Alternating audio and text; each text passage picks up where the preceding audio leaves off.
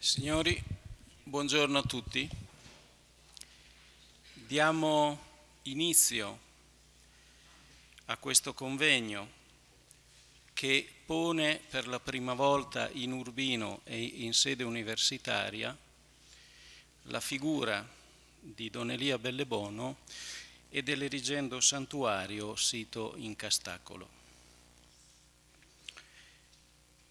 Ehm, vorrei in modo non formale, come sempre accade, io faccio il medico e, e mi capita di presiedere convegni, relazioni e dove il formalismo è sostanzialmente la regola. E I saluti che io porterò e eh, la presenza di mh, colleghi, amici e persone... Eh, si sente poco? Ok. E persone che hanno reso possibile questo gesto così importante eh, rende questi saluti non formali. Per dovere di ospitalità e come primo ringraziamento chiederei al magnifico rettore dell'Università di Urbino, che ci ha concesso con grande larghezza d'animo e con grande gentilezza la possibilità di svolgere questo evento in questa sede, di salutare eh, i presenti. Prego, professore.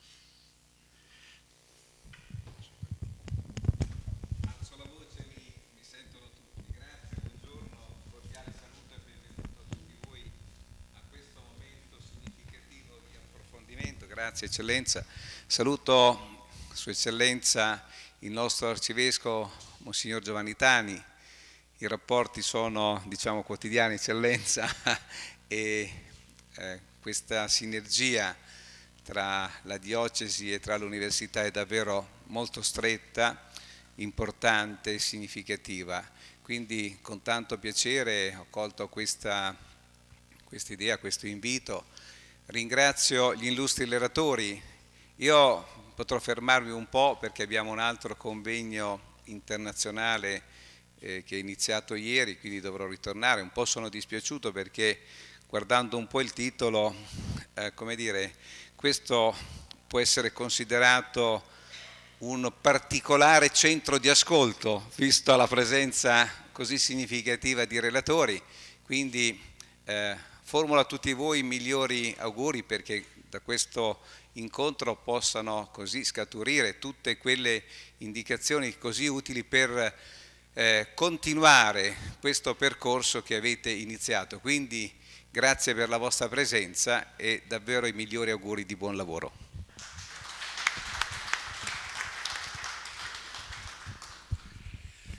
Grazie al eh, magnifico Rettore. Cederei la parola all'assessore Guidi che in eh, rappresentanza del sindaco di Urbino ci onora con la sua presenza. Prego, assessore.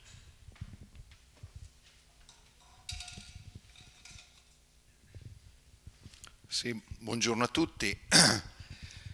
Eh, io sono qui stamattina a rappresentare il sindaco che impegnai l'amministrazione, il sindaco è impegnato in importante eh, eh, assemblea dei sindaci dell'area vasta sul tema della sanità, che sapete è un tema particolarmente importante e delicato. Mm, devo dire che mi fa molto piacere essere qui comunque presente stamattina, non solo perché diciamo, rappresento, rappresento l'amministrazione del sindaco, ma perché questa vicenda mm, l'ho eh, diciamo, vissuta molto eh, eh, direttamente, in quanto negli anni in cui diciamo, si è eh, eh iniziata quest'opera, anzi da, da, prima che iniziasse, io eh, all'epoca ero assessore all'urbanistica, quindi mi, me ne sono occupato veramente in maniera, e quindi mh, mm, avrei da raccontare parecchie cose. E quindi veramente mi fa molto, molto piacere essere qua, è un incontro così importante, un incontro che mh, mm, è importante anche perché eh, cercherà credo anche di, di far conoscere mm, no, eh, i motivi di fondo anche per i quali quest'opera è stata voluta, è stata realizzata e quale può essere anche l'importanza di, di, questa struttura, di quest'opera eh, ad Urbino, una, una città eh, universitaria, voglio dire così, eh, importante. Quindi auguro anch'io veramente buon lavoro e, e mi farà piacere ascoltare quello che i relatori qui presenti avranno da dirci stamattina. Grazie veramente a tutti.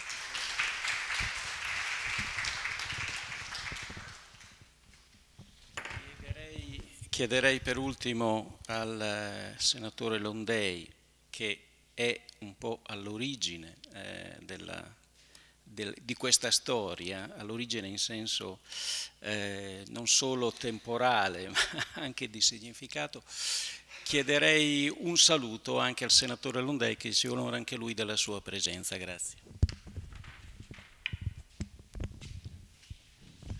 Devo dirvi che sono un po' emozionato perché la storia, questa storia inizia quando ero sindaco, quando ricevetti una delegazione di cittadini che vennero a dirmi che vi era stata questa intenzione, questa visione alla chiesa di San Francesco, forse la più bella chiesa insieme col Duomo della città, questa visione dove si aveva intenzione di costruire quello che poi in parte è stato costruito. Devo dirvi che le vicende non furono semplici, perché vi erano tanti vincoli, si discusse molto sulle aree, però ad un certo punto fu trovata una soluzione, io poi fui eletto al Senato, quindi mi dimisi da sindaco per andare al Senato, però poi fu continuata dalle successive amministrazioni eh, l'opera. Eh, quindi la cosa che volevo dirvi è questa. Eh, quando ci fu la vicenda, Don Elia Bellobono mi, mi mandò una fotografia sua. Sapete, i miei genitori erano gente di campagna, ma gente sana, eh, che erano nati a Cerqueto Bono. Chi conosce la città sa cos'è Cerqueto Bono è un posto bellissimo, dimenticato da tutti, ma adesso ci sono colonie di tedeschi e di inglesi che hanno acquistato le case. Con questa tradizione contadina voi sapete che i contadini avevano un'abitudine, in un angolo della casa tenevano un santo protettore. Quando Elia, Don Elia Bellobono mi mandò la sua fotografia tramite sua Eccellenza l'Arcivescovo d'Urbino, che allora era Monsignor Bianchi, io da allora quella foto di Don Lia Bellobono è in un angolo della mia casa. Quando è venuto a casa mia il predecessore di Sua Eccellenza Monsignor Tani, Monsignor Marinelli, che mi onora della sua presenza a casa mia, la prima volta che venne a casa mia disse ma quella, sì, quella è la foto del fondatore della struttura che si sta costruendo a Castaccolo. Questo per dirvi che fin da allora ho avuto un grande rispetto, quindi spero che quest'opera possa trovare compimento perché è una grande storia, forse anche molto lunga, però come tutte le cose sofferte, alla fine forse sono le più belle. Grazie.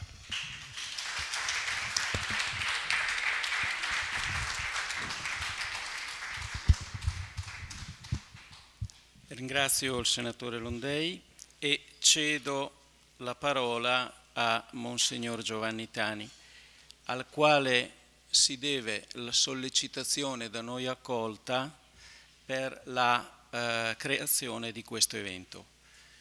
Mm, non credo di dover presentare Monsignor Tani, se non per il fatto, io questo lo voglio dire essendo riminese, che Monsignor Tani è un romagnolo come me e questo mi, ovviamente è sano campanilismo, concedetemelo.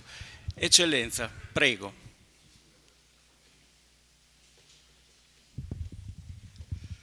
Buongiorno a tutti, anche mi pare che ci sia una folta delegazione da Rimini, vi saluto e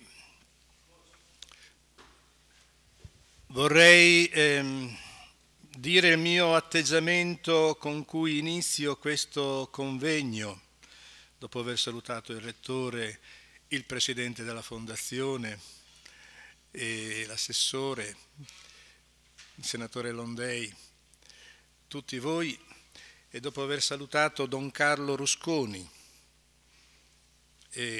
al quale mi lega un'antica amicizia, anche se è una di quelle amicizie che si rinnova anche se ci si ritrova dopo 30 anni, e, e però certamente nella nostra fase giovanile ci siamo conosciuti, ci siamo eh, frequentati. Io ho sempre stimato lui nel suo percorso di studi biblici. Bene, detto questo, il mio atteggiamento qual è adesso? Voi sapete che io parto nella, nell'impatto con Don Elia Bellebono da una certa distanza, perché non lo conoscevo per niente prima di venire qui a Urbino e perché eh, quando sono arrivato a Urbino mi è stato presentato come sia lui che questa opera del santuario come una realtà che non coinvolgeva direttamente in maniera totale la diocesi, era una cosa che nasceva là per intenzione di altri. Sicché il mio atteggiamento per i primi anni è stato quello di interessarmi, di vedere, ho letto qualcosa, ho letto la vita di Don Elia, però sempre con questo atteggiamento un po', eh, un po a distanza, finché le vicende che si sono susseguite nei, negli anni mi hanno portato ad essere in questo momento eh, molto coinvolto, non soltanto emotivamente, ma con una responsabilità anche da un punto di vista giuridico non piccola per quello che si va facendo.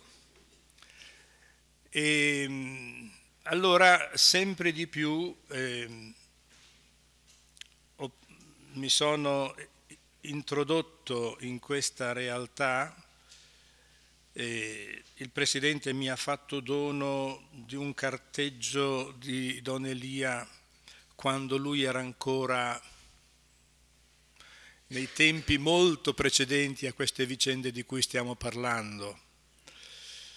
E quindi eh, sono portato a entrare sempre di più dentro questa realtà. Oggi probabilmente è il primo affondo più significativo anche per me per cercare di capire, per cercare di entrare, per cercare di eh, inquadrare ancora di più la vicenda di questo uomo, di questo sacerdote.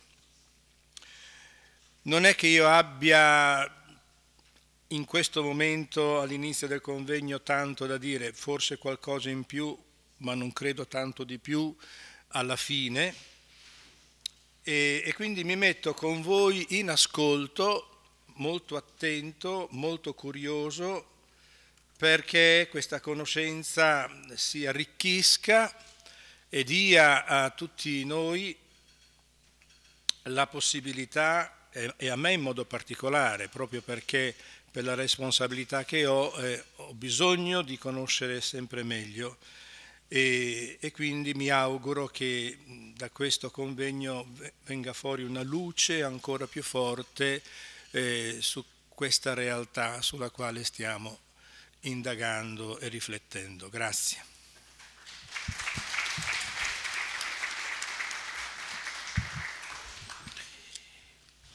Dobbiamo a Monsignor Tani la, e alla sua insistenza la preparazione e l'esecuzione di questa giornata. Eh, mi corre l'obbligo, scusate il politichese, eh, di continuare un attimo con alcuni ringraziamenti che generalmente vengono fatti alla fine quando ci si allontana dalla sala e ripeto, nell'ottica del non formale di cui dicevo prima, è per me importante ricordare eh, persone ed amici che hanno reso possibile questo, questo gesto. In primo luogo vi devo portare i saluti di padre Armando Ceccarelli, eh, un sacerdote gesuita che fu all'origine eh, della storia della Fondazione Sacro Cuore e che si è reso presente eh, tramite rapporti personali con noi in quest'ultimo periodo, avrebbe fatto di tutto per essere presente qui oggi, ne sarebbe stato lietissimo, ma impegni lo trattengono a Roma. Eh, dell'ingegner Giovanni Astrua Testori di Milano, che come molti di voi sanno avendo letto il libro, è anche lui all'origine eh, dell'inizio dell'acquisto del terreno sul quale poi venne edificato il santuario e del professor Tito Malfatti di Bologna, che è stato uno dei primi eh, amici storici di Don Elia. Eh, devo ringraziare i relatori, ehm, oltre a Don Carlo Rusconi, Don Gianni Terreno che viene da Firenze con una fatica non indifferente, Fiesole, scusa, eh, eh il, campanil, il, campanilismo non è solo romagnolo. Eh? eh, eh Umberto Callegaro che viene da Milano. Devo ringraziare in modo particolare eh, mia moglie Laura che con una tenacia da carro armato ha spianato tutte le difficoltà possibili per l'esecuzione di questo evento. Eh, la professoressa Falcioni che ha reso possibile eh, con la sua presenza l'essere ospitata in questa sala, il dottor Domenico Campogiani al quale fischieranno le orecchie viste tutte le telefonate che, con cui mia moglie lo ha martellato in quest'ultimo mese, il dottor Oliviero Gesseroli, il dottor Giuseppe Cucco, e eh, il dottor Carlo Pace con sua moglie che ha reso possibile, ci sta aiutando nelle riprese filmate di questa giornata, il dottor Domenico Bruscolini e il dottor Ugo Ducci che è presidente della Fondazione Sacro Cuore e che è qui con noi questa mattina. Eh, io sono stato il medico di Don Elia per dieci anni e e per dieci anni da Rimini sono venuto all'eremo di Montegiove, la scusa era di curare lui, in realtà era lui che per dieci anni ha curato me. Ed è stata una presenza assolutamente fondamentale decisiva per la mia vita e eh, per la mia spiritualità. Perché eh, quindi siamo qui oggi, perché oggi e perché qui? Innanzitutto perché ricorre in quest'anno il ventennale della morte di Don Elia, in secondo luogo perché questo è l'anno della misericordia e come ehm, vi leggerò brevemente in alcune mh, frasi che sono fondanti eh, l'espressione di questo gesto di oggi, eh, queste diciamo, eh, sono come ciò che costituisce la base non fisica dell'erigendo santuario. E nel 1940 Don Elia entra come novizio presso il convento dei Gesuiti a Lonigo e qui avverrà la prima apparizione.